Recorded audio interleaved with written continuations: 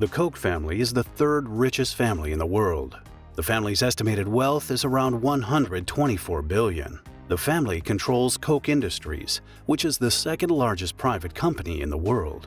Koch Industries has revenue of over 115 billion and it employs over 120,000 employees. Koch Industries is involved in energy, fiber, petroleum, chemicals, polymers, minerals, fertilizer, paper, equipment, cloud computing, finance, trading, and investments. Koch Industries was founded by Fred Koch in 1940. This is the story of how Fred Koch founded the second largest private company. Please watch the full video. We at Business Chronicles tell the stories of extraordinarily successful people. Please subscribe to our channels to help us in making more videos. Fred Chase Koch was born on September 23, 1900 in Quanah, Texas. His father, Harry Koch, was a Dutch immigrant who worked at a printer shop in Workum, Netherlands, then in The Hague, Germany, before finally migrating to the United States in 1888. He bought and ran the Tribune Chief newspaper.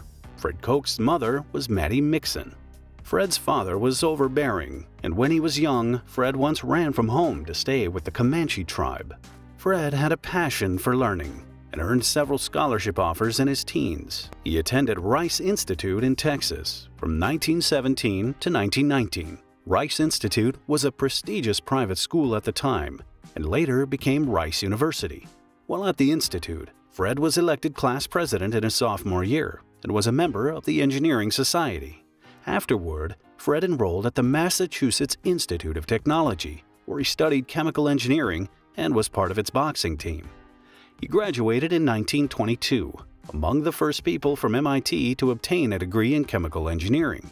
Fred Koch started off professionally working for the Texas Company, based in Port Arthur, Texas, as a chemical engineer. He only worked there for some time before moving to England to work as a chief engineer for Medway Oil and Storage Company on the Isle of Grain in Kent. In 1925, Koch returned to the United States and joined two former MIT classmates running Keith Winkler Engineering in Wichita, Kansas. Later on, the firm became Keith Winkler Koch. However, Keith would not stay at the firm for long. He left and the firm changed its name to Winkler Koch Engineering Company. In 1927, Koch came up with the thermal cracking process for efficiently producing gasoline from crude oil. At the time, oil companies were enjoying a boom in demand for energy thanks to the Industrial Revolution and advancements in automotive transportation. However, the industry was dominated by a handful of large companies that could leverage their scale to produce much more efficiently. Koch's new invention was set to destabilize this established order by making small producers efficient in their production and better positioned to compete. The large oil players were not impressed they filed 44 lawsuits against Winkler Koch with the intention of running the company out of business. Koch and his partners spent the following years buried in litigation. Even Winkler's former employer, Universal Oil Products LLC, joined the fray in 1929, suing Winkler for patent infringement. It alleged that Winkler Koch's new invention was no different from the intellectual property Winkler accessed while at the company. The litigation extended for a while effectively inhibiting Winkler Koch from achieving business success in the United States. Koch looked eastward in pursuit of better opportunities. In 1929, Koch took his business to the Soviet Union, where there was interest in his technology. Initially, he was concerned that the Soviet administration would not pay him for his work, but after entering into a concrete agreement with the Soviet government and receiving an advanced payment, he was convinced. Between 1929 and 1932, Koch helped the Soviet Union build 15 refineries, forming the foundation of the country's oil industry. He also organized trainings for Bolshevik engineers. As the 1930s progressed, international appeal for Koch's technology grew. He was able to secure new business contracts in Germany, England, France, the Middle East, and other Asian countries. Back home, Winkler and Koch eventually won all but one of the lawsuits levied against them, receiving a handsome $1.5 million settlement. Later on, even the one case they lost was revoked after it was discovered the judge had received a bribe from the large oil companies. Koch worked at Winkler Koch until 1941. In 1940, Koch joined new partners to start Wood River Oil and Refining Company. In 1946, Wood River bought Rock Island Oil and Refining Company in Oklahoma. In 1948, Wood River built a pipeline to transport its products to Rockford, Illinois. Wood River also bought ranches.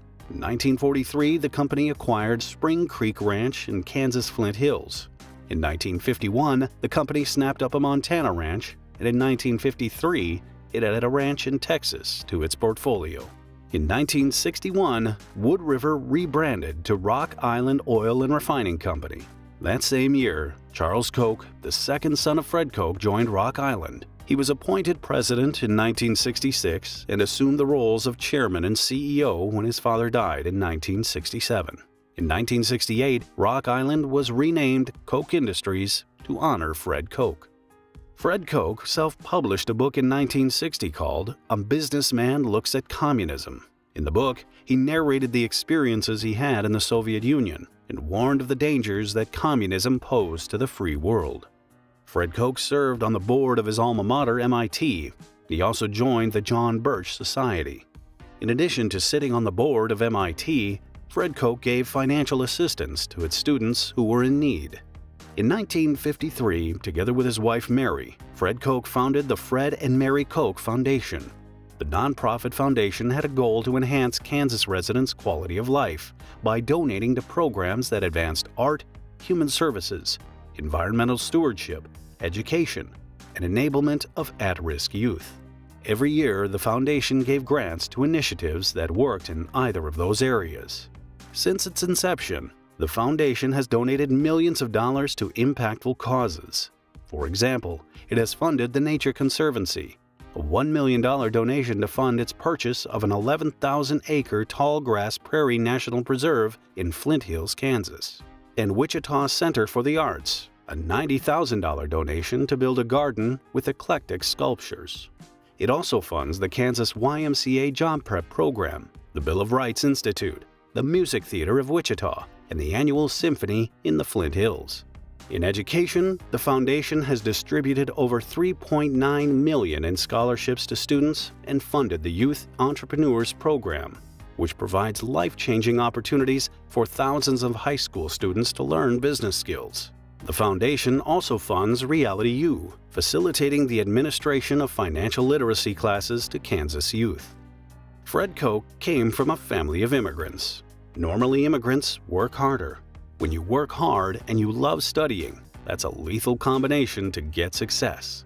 Fred Koch worked hard and founded the company which today is the second largest private company in the world. Thank you for watching. Don't forget to subscribe to our channel to watch more videos like this.